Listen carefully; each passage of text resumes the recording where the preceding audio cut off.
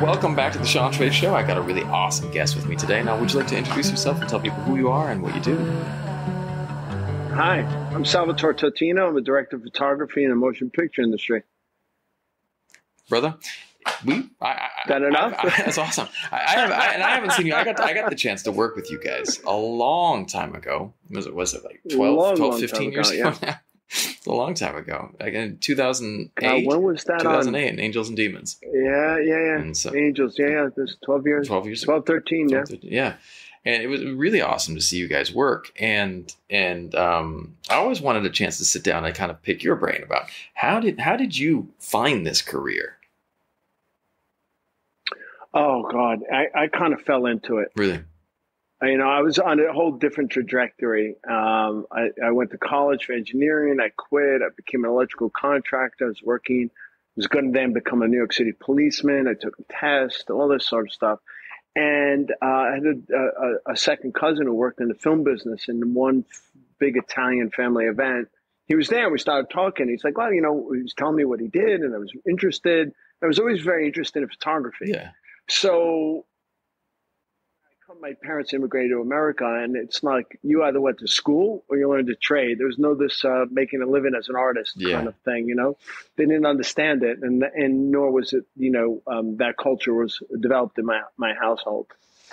So uh, you know, I always had this interest in photography, and I went so I'm at work, and I really wanted to, you know, know about it more. And he's like, you know, you need to quit your job and become a PA. And then, so I did that, and I got a job as a PA, and I started working as a PA, and I got my way into the camera department. and met a great camera assistant who worked. Uh, his name was Paul Gaffney, and he worked with Jack Donnelly on commercials. And uh, he took me under his wing and started training me it's awesome got my hands hands on on camera and uh, just started learning. I'm a uh, you know what do they call it um, de- dexterous uh, uh, learner. You know, I learn with my hands really Okay. well.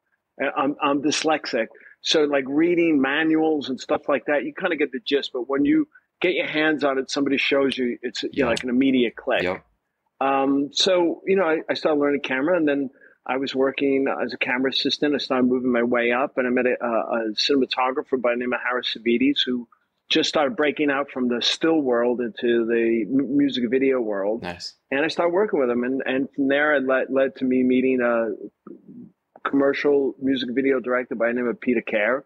And Peter um, sort of liked my eye when I was making suggestions. And one day, you know, started letting me shoot B camera. it's awesome And then one day, like, he let me shoot, he let me shoot a small little MTV promo for him, and then the rest is history. that's awesome man now now Yeah, so, yeah. so you you It's this is so great about this country. It's like right you could do anything. right You know, you, you know, you you need somebody to show you a door sometimes, but it's up to you to open that door and step in.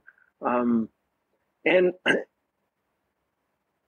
you know, I, I- I, think we're very fortunate. Uh, you know, very fortunate to live here. I've been very lucky in that sense, and taking the opportunities and working hard, taking your work ethic and and turning, you know, um, you know, making your passion your life. I, I was having this conversation with with someone recently because two people that were from from outside the U.S. One was from from Europe and one was from here in Asia, and they were like, they were commenting about that. Like there is this ability in the states still to to, to there's you can make waves if you have if you understand that relationships are important and you understand the value of of just hustling, you know, because my friend was saying in in um you know in in where he was at in Europe, it was all relationships, but it was all these old relationships. So it was really hard to kind of break in.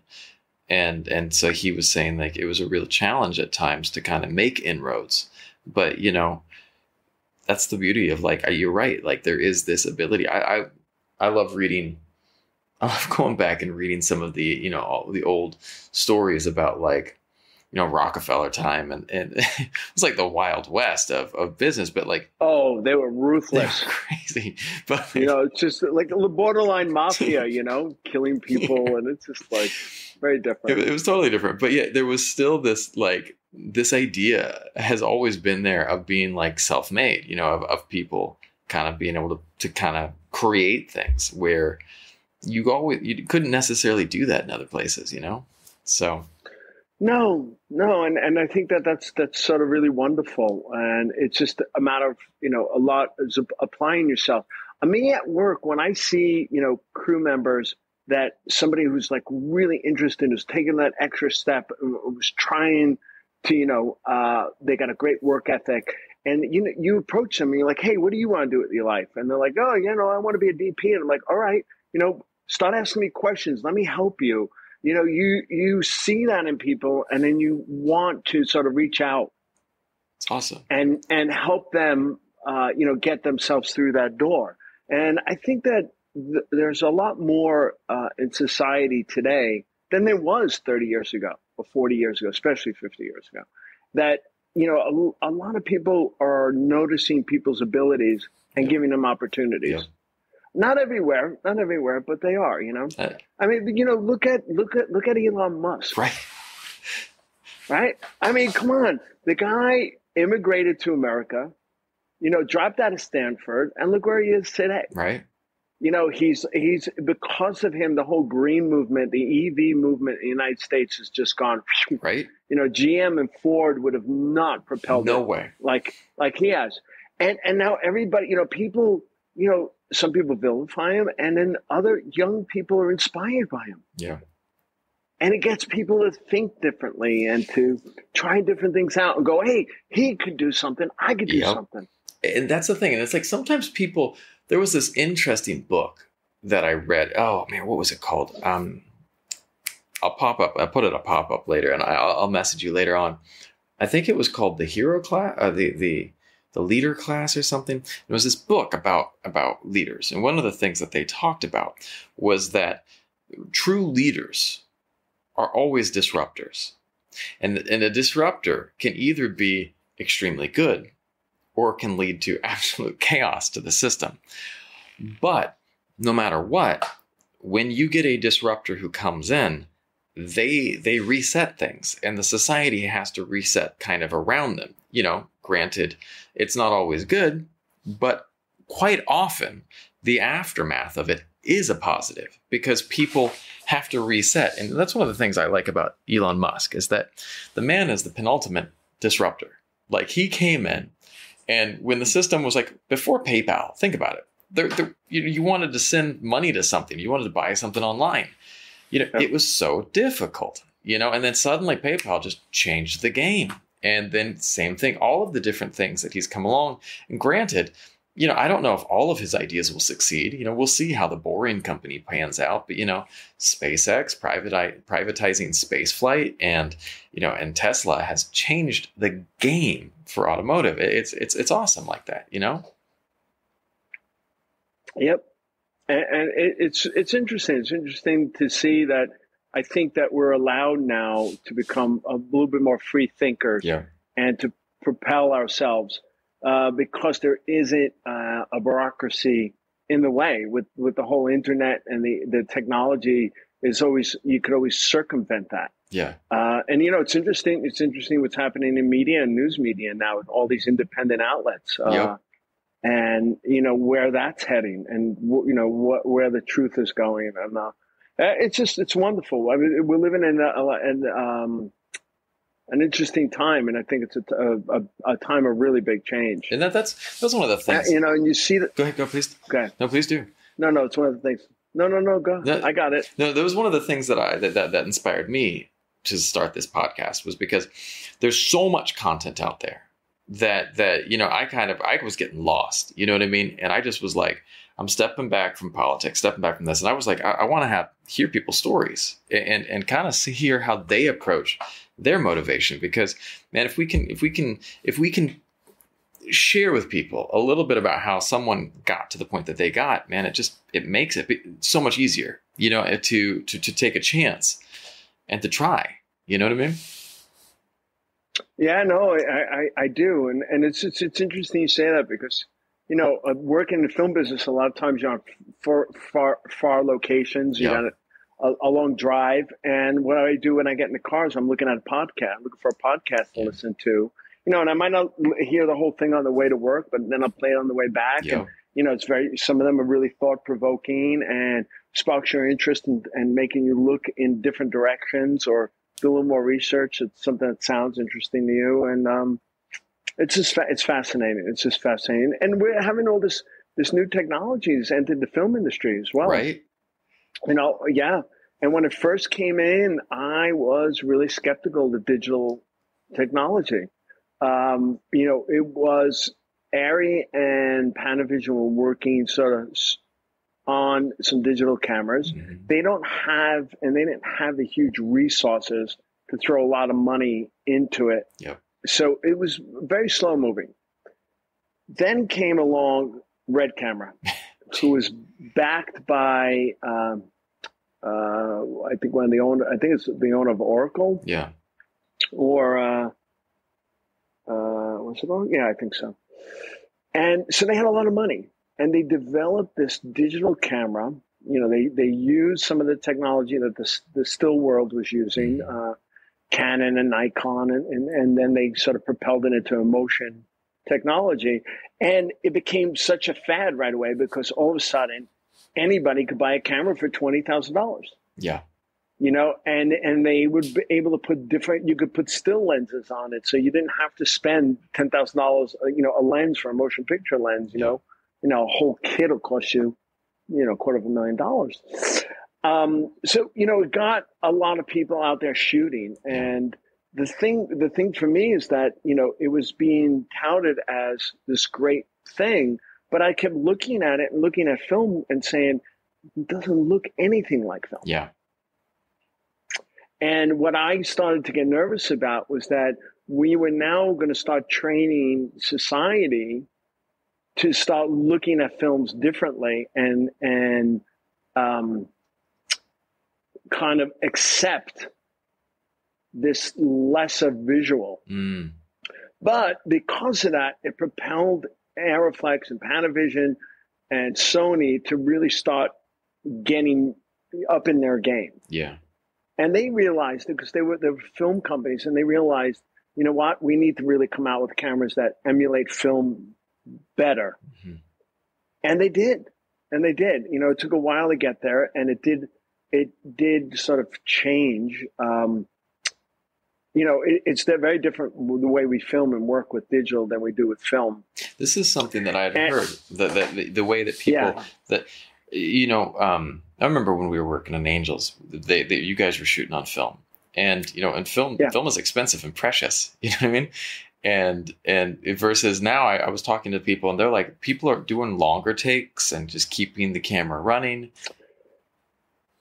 Yeah, a little bit of that's problematic as well. Uh, sometimes some directors will just go, go again, go again, keep it rolling, go again. And some, you know, depending on the actors, they're like, wait, you know, I just did 12 takes. What yeah. do you want different? and the director's like, well, just do it again. It's like, well, if I did it again, why am I doing it the same way again? You know? Yeah. So, you know, the, the, and so then, you know, it's, it's cheaper, a little cheaper, the technology, but then now you're making your day longer. Yeah. And now you have a lot more data that needs to get ingested and then needs to have, you know, assistant editors and, and sort through that. So your, your, um, your workflow, your supply chain, so to speak, now is starting to get bigger. Yeah. And so, you know, it, it adds a back end cost. Uh, but for me, it's more about the visual aspect of yeah. it. Now, with film, you know, you had, a, you needed to understand the science and the chemistry and where and how you could push that. And you had, you know, a small window of latitude that you worked in. Um, what I do like about film, it has this type of grain to it. It, yeah. it feels a little bit more alive than a digital image does. Yeah, I'm, I'm a I'm a huge and, film photographer. I I, I, I yeah. You know, I shoot film constantly. I just I just went out to the beach with my family and I shot about eight rolls of. Uh, I just grabbed some. It was really bright, so I was shooting on Kodak Pro Image 100. And I love I love my Kodak, though there are some really nice. We we had that was the one problem with the pandemic. I couldn't get anything you know, I, love shooting on oh, Portra really? 800 and all that, but once the country couldn't get any of it, couldn't get anything. So all that we can get right wow. now is gold 200 and uh, Pro Image. Oh, 100. really? Oh, that older stuff. Oh, we get a ton of the old stuff here, man. Wow. Yeah. So, but the thing is, it's getting it developed. Oh, they have great developers here. I've got tons. There's all of these people, and it's so cheap. That's the awesome thing about shooting film Oh, in Southeast really? Asia. It's so cheap. For how- what is it? Uh, 120,000. So for about four dollars, I get a roll developed plus high res scans, No, really? plus high res scans. Oh scans. my god! you know, that's it's like twenty dollars. In I know that's what my friend was saying. It's so expensive in the states. I was like, oh man, I only pay four dollars, and it's like high res scans. and Wow. that. yeah, it's great. But the film Yeah. film is the same Well, you price know, as back we- home. Same price, Yeah. right? Yeah, I can I can imagine that. But that grain, that grain, people don't get it, man. People don't unless you shoot film. No, no. right? Or like you know, for like if you want to get like big bally grain, for example, like you're, you're trying to create an older look, Yeah, you might shoot 16 black and white Right. and underexpose it, and then push it. yep, And the more you push it, the more that grain comes out. And it's you can't emulate something like that digitally. I mean, there's like a fake digital aspect to it. Uh, but you know, it, the digital the digital post tools are getting better. yeah, The thing that bothers me though is when you do shoot film today, they're taking that film and they're putting them through really high res scanners. yeah, So you're now looking at an image that that is almost looking very digital.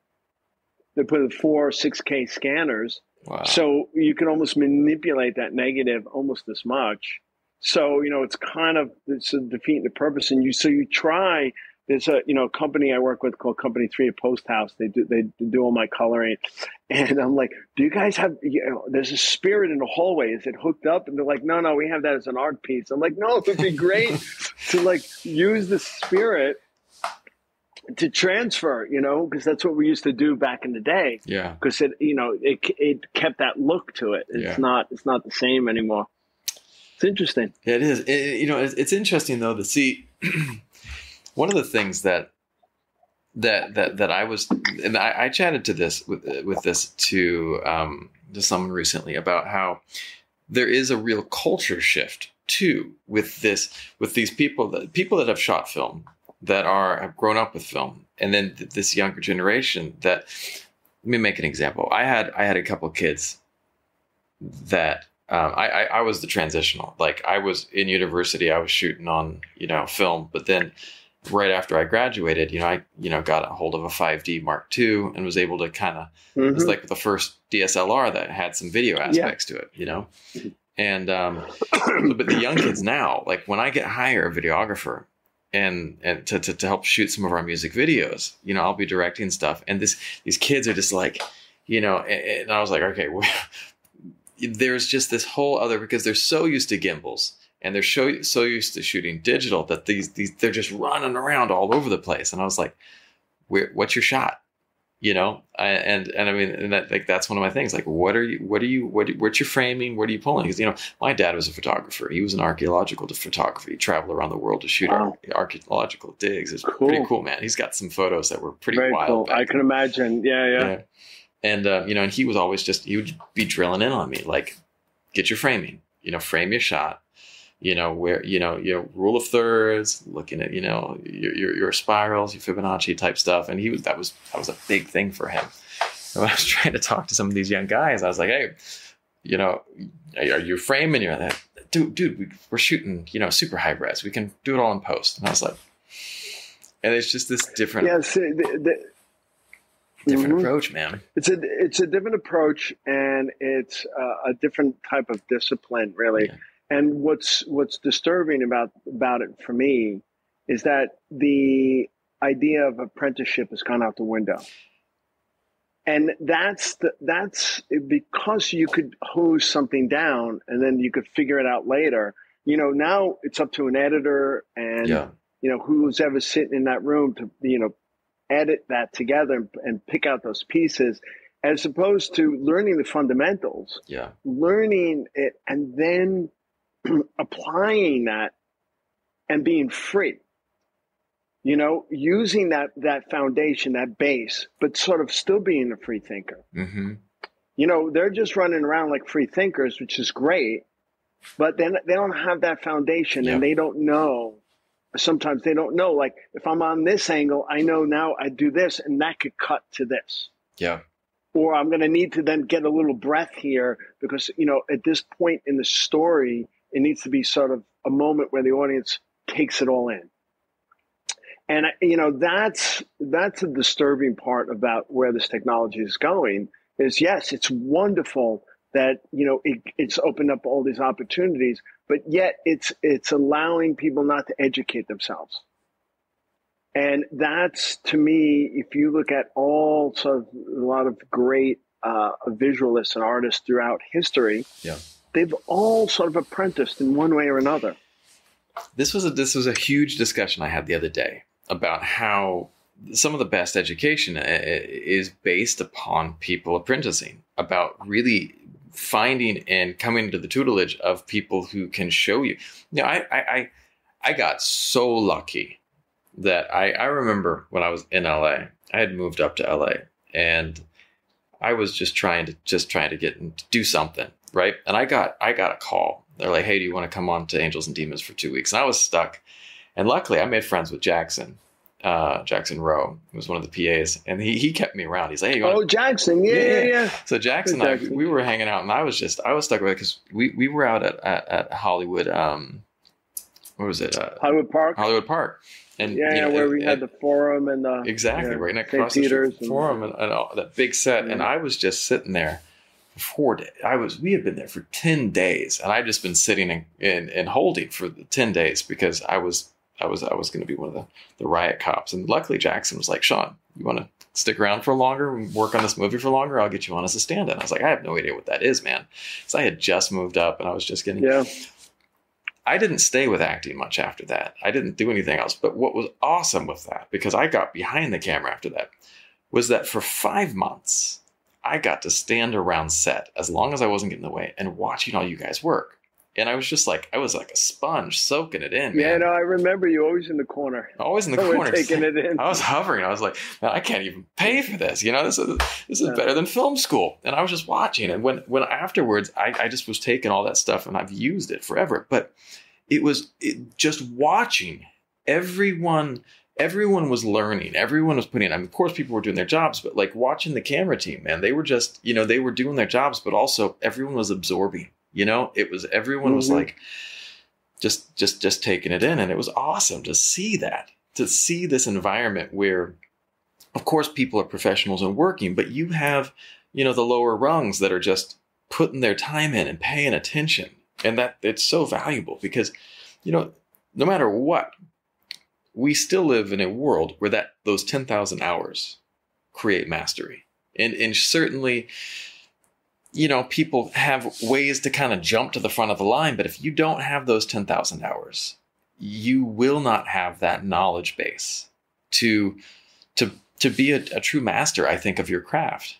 Granted, you can be really good at what you do, but you might not be really well rounded, you know?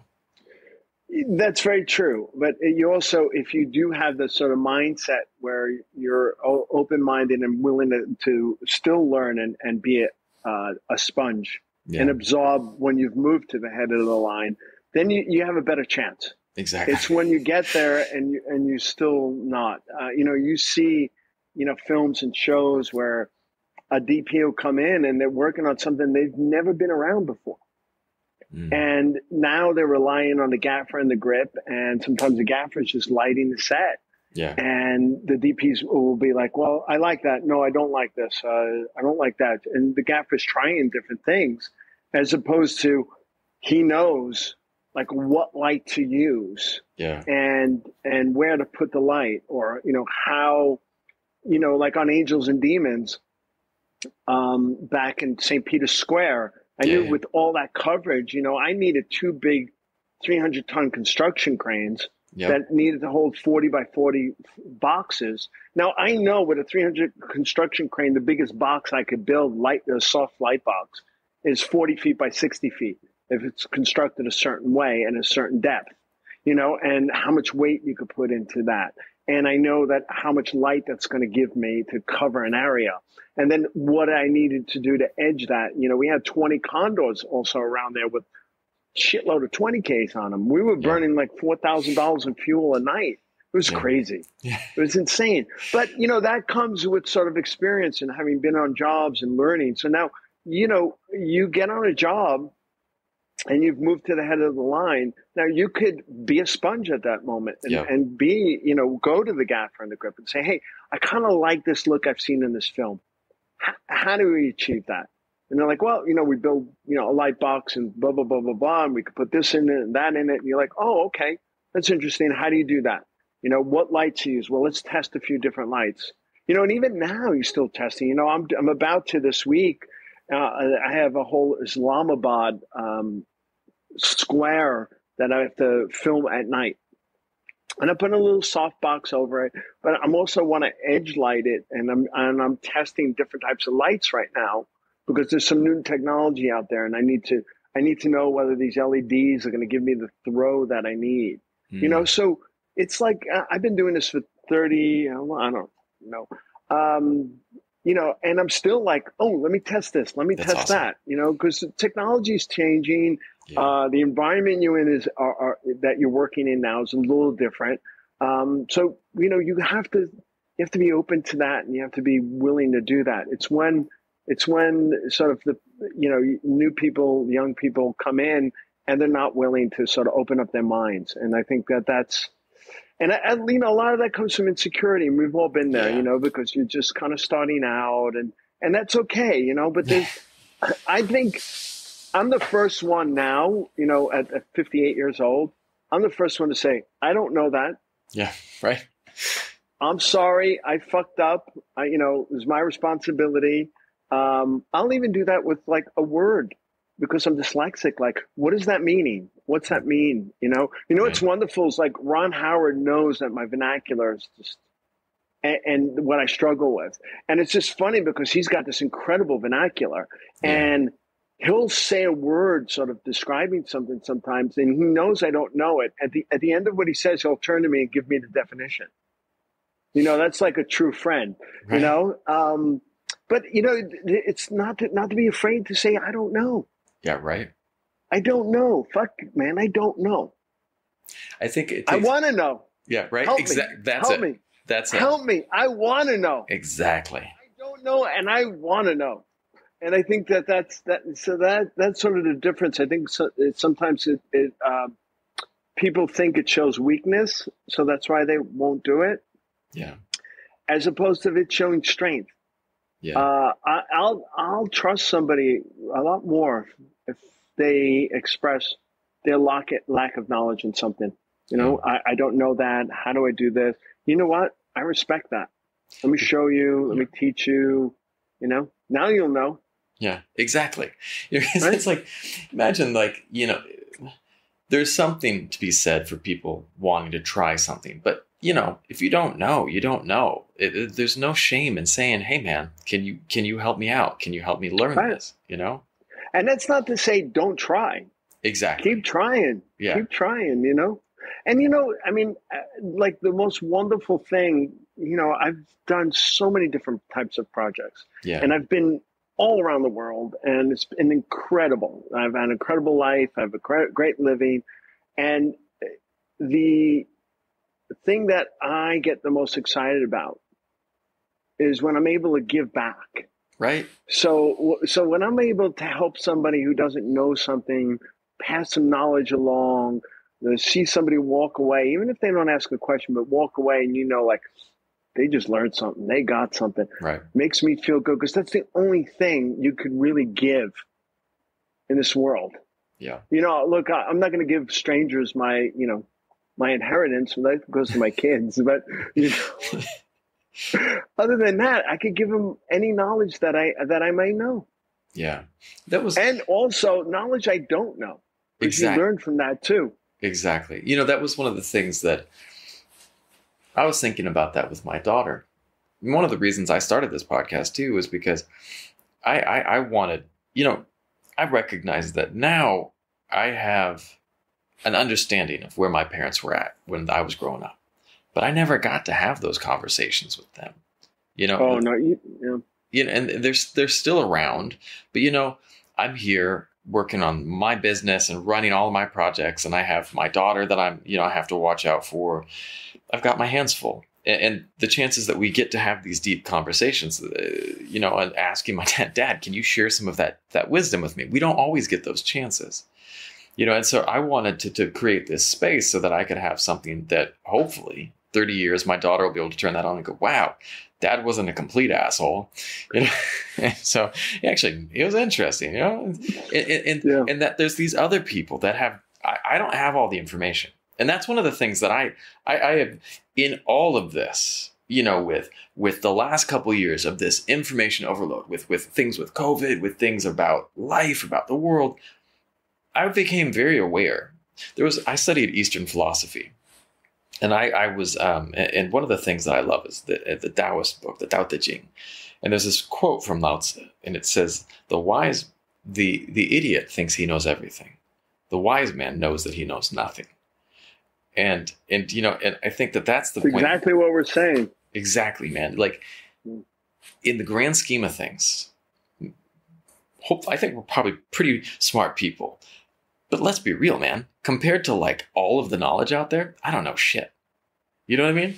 And, and it's like there's just this whole world. And, and, like you start mm-hmm. going into other areas. Like I was I was interviewing this microbiologist, and all of a sudden the language that was being used to me, I'm like, I do not know what you're talking about.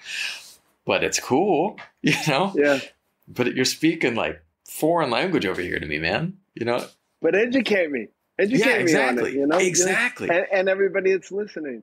And that was it was a great interview. Prasin, uh, he he's a Nat Geo photographer and he's a, he's a like oh, a wow. molecular biologist, and he was talking about how he was up in the the Himalaya and he was doing photos of like of of of, of snow leopards, and he was Ooh, setting these not cameras. easy to find.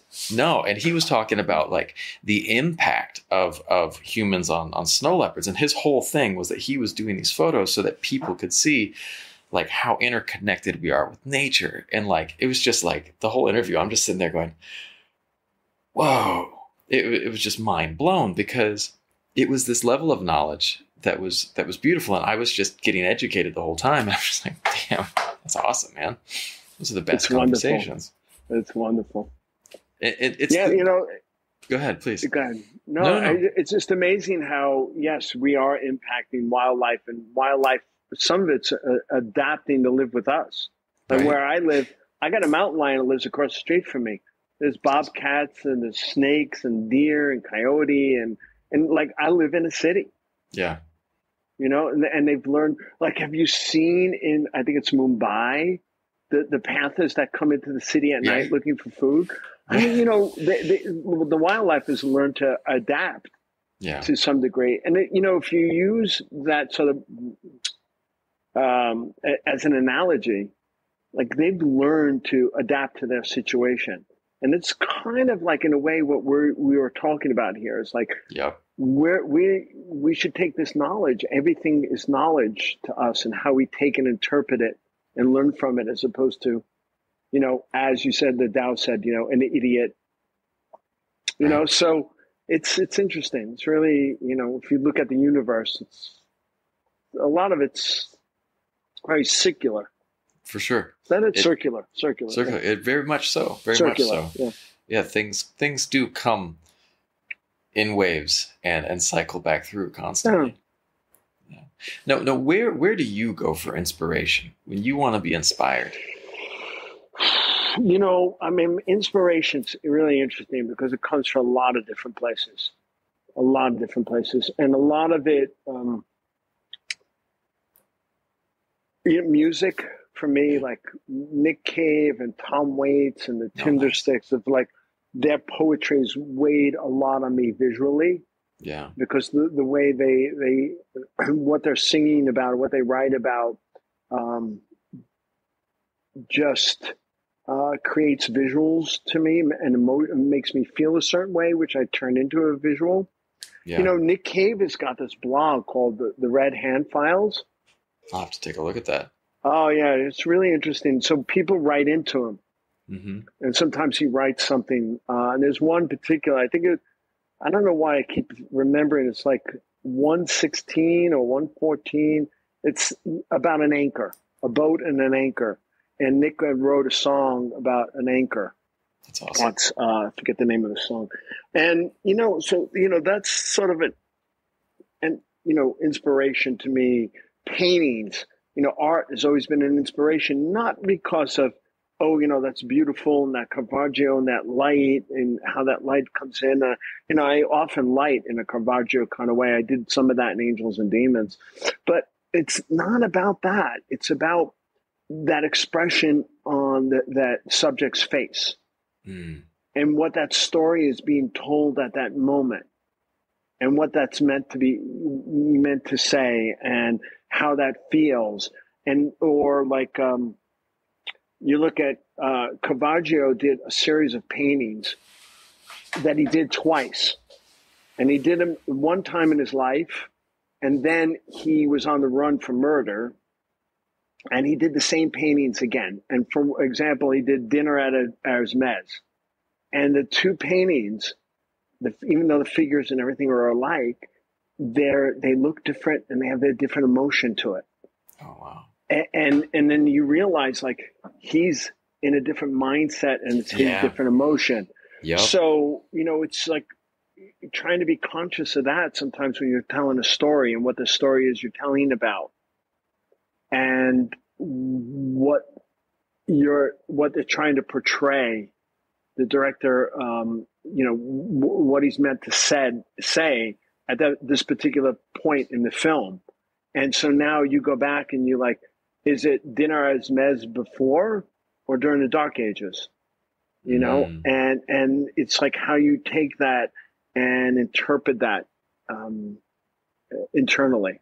That's awesome. So, so you know, or my you know, my inspiration could just be you know a moment where I pass somebody in the street and the person has this certain look. The old lady has a certain look on her face, and then you feel like the weight of that on you.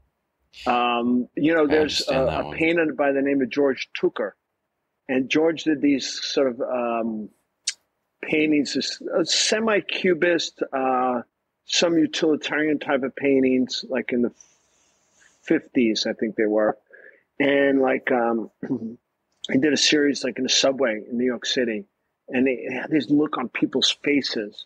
And when I was doing Cinderella Man, there's a moment in Cinderella Man where uh, Jim Braddock goes back, true story too. He goes back to the welfare office to return the relief money he got because he had just won a fight.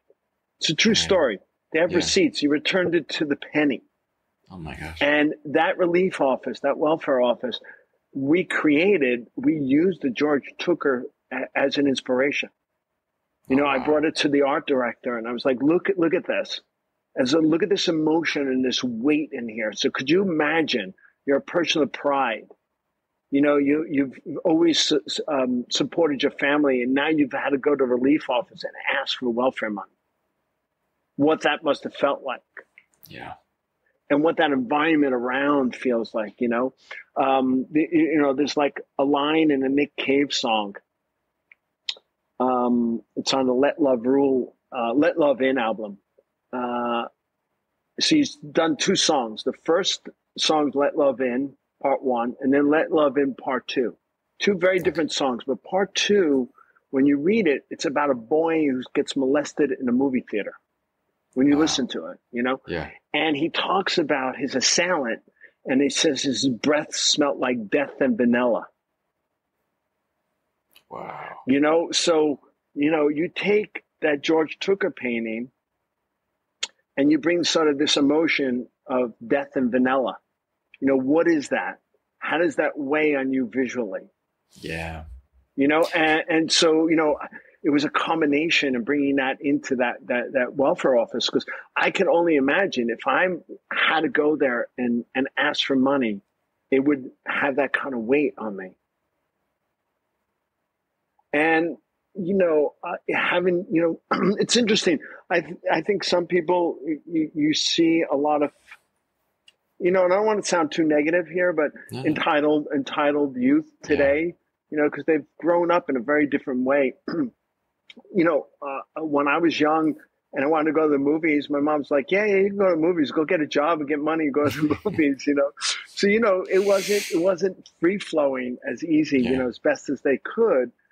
Um, I had grown up, you know, where you know, it's an old Italian community, and somebody would have died, and there'd be a funeral, there'd be a wake, mm-hmm. and your parents couldn't afford a babysitter, so you went to the wake at 10 years old, you know, nine years old. And all your cousins were there too. And there'd be a dead body laid out and, you know, all these people crying and wailing. And like you walked in the room for a second, showed your respect, and then ran outside and was out, out front of the funeral parlor playing with your cousins, you know? But it's like being exposed to that. Yeah. And, and, knowing what that feels like and, and what that is, you know, having been exposed to you at a young age. And I think that, you know, when I say the smell of death and vanilla, you know, I think of that too, you know, and what that is. And so, you know, inspiration comes from a lot of places. You know, yeah. comes from bright places, comes from dark places. You know, comes from nature, comes from what you read or so what true. you see, you know, what influences you. And then you try to take that and sort of um, use those tools as to where you want to help tell the director's story visually. You know, I never look at it as though it's my story because it's not. It's the director's story, and I'm there really to help the audience on a visual journey on helping that director tell his story or her story. You know, when I say his, I mean that in a generic way. Um, there, there. Sorry, uh, I'm getting used to my pronouns now. right. That's all. You, you one of the things that you pointed out, and I, I noticed this when I have a camera with me. I start looking at the world differently because whenever I'm carrying a camera, I start just slowing down and looking and actually seeing things differently. I remember one day I was driving and it just this is a visual that has forever stuck with me. And it was a moderately windy day, and they have a special type of uh, you have in, in in Asia you have different types of monks. There are the monks that like you know are like kind of like a pastor or priest that are like kind of like not a politician, but you know, there are people there doing the job part, you know. But then there are these in Asia. We have like the, the mendicant monks, these monks that are just wanderers. They just walk on the street peacefully, you know, and their whole thing is to kind of be centered, and they just walk slowly. And there was this Buddhist nun who was there, and the wind caught the robe, and the robes were just dancing behind mm. her and it was just like it was one of the most visually stunning things I've ever seen. And it, it just it just rang. It, it just it, it just and for me, I, I find that we have to learn to see. To see, not to just look, but to see.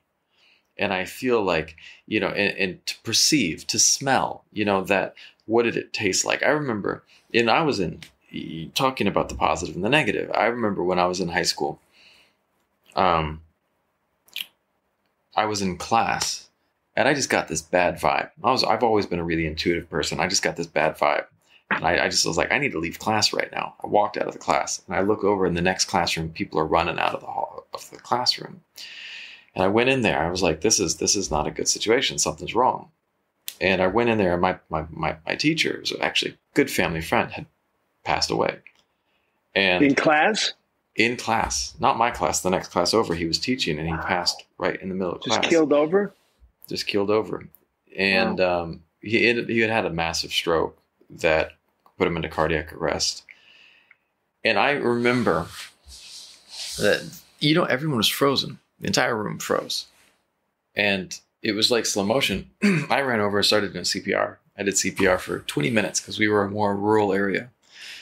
CPR for 20 minutes is is a really crazy thing. But yeah, I bring that up, it's I still can remember every smell in the room. I can still remember every last detail in that room. Mm-hmm. And and every smell, every every light, every color, I remember it vividly. And it was because in that moment, life and death became evident. It was just like there was this. It was I was completely awake trying to do CPR. It, probably throughout most of our lives, we're not fully there. we're out here, we're out here. And for I, I find that for creative expression to be able to be present and to, to witness. Remember the movie American Beauty? There was Mm. that scene where he filmed the trash bag, and the trash bag was just dancing in the wind. And that's something that I always come back to about beauty is just can be anything if you can be present with it. Yeah, it's about being present. And I, I think, you know, what we do visually is is all your senses. Yeah. You know, it's not just the the, the sense of sight, it's a sense of smell, feeling, uh, taste. It, it all becomes encompassing. Whether Yeah. it's in that moment or in another moment in your life, and you've transported to that moment, um, and that's it's an interesting it's an interesting and- it's also really powerful. It's a powerful sort of uh, way to be to sort of walk through life and you you know have all that and, and be aware of your environment and and to be in those moments.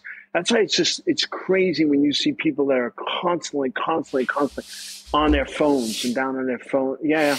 You know i cycle and um sometimes you know you know you do 40 60 mile rides and you know oh i'm going to listen to a little music or put you know you put one headphone in because you need to like listen to the road and in a way like you, you all of a sudden like you kind of forget it Yeah. and a, a moment and then i'm like you know i take it out of my ear because i'm like I, I, cycling is not just about exercise for me it's also that that environment and this moment i'm out here in nature Yep. You know whether it's in the city or not it's it's it's a natural environment. And you're like i want to be in this moment. So i don't listen to music anymore when, when i'm cycling. I i you know just really take it in. I listen to those sounds uh and you know the environment around you see things more too. And the Yeah. smells and all that. Um and and I- and how also it feels on your body. Yes. that temperature change and all that. Yep. And, and it it's it's really important that you're just um, you're a lot more in that and i think that you know technology or this technology is wonderful but in a way it's sort of dumbing us down in another way you know it, it's Yeah. taking away some of our senses or it's not uh, they're not, not taking it away but dulling them down and um, Yeah. that makes me that that scares me that scares me because what what is it going to be 50 years from now 100 Right. years from now? You know and now this whole you know vr technology. Let, let's you know could you imagine the addiction that's going to happen with that? Yeah you know what? It's kind of really wonderful. I could put these on and it could take me someplace else. But it's going to take me someplace else only visually Yeah. and hearing, you know.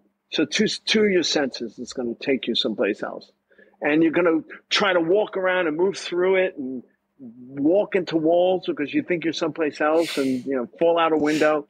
But you know people are going to become addicted to it, and they're Yeah. going to stop being in the moment. Yeah. So true. I I I rode um I ride motorcycles and in, in, in Asia we that's why people get around. One Yeah. of the things that I always love is that when you ride and you're outside, like every sense is heightened. You drive and you cross a river and the second you get above that river, the temperature changes, the moisture changes, and you just you feel it. And you know, and in Southeast Asia, you know, you're driving down the street and suddenly you smell that restaurant. You know? And already in cars, cars are kind of a sim- like similar to VR, you know? You are enclosed, you have your air conditioner, you have Yeah, your yeah. heater, you have your your your music that sets the tone, you have you know now people with with with all these these Tesla and smart cars, people are running their their videos and on autopilot. And, and give me give me an old motorcycle any day, Yeah, any day. any yeah. day of the week, man. But at least with the car, you can stop and get out. With the VR, that's if you stop and get out, you're still in your room. Yeah, right. You know, so you're right. Give you a motorcycle, and you know you're seeing, you're experiencing it for what it actually is. Yeah, None of it's been manipulated. That river's not manipulated. No. That smell of that restaurant isn't manipulated. It's all an internal emotion to you. Yeah.